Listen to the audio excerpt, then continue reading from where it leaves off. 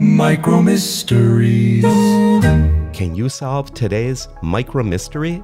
Floscularia ringens is a rotifer, a microscopic animal made up of about 1,000 cells.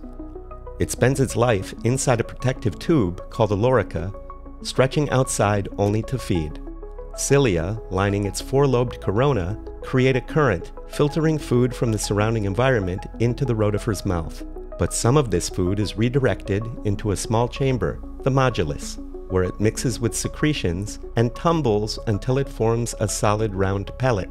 The rotifer uses this pellet for something special. Can you guess what it's used for?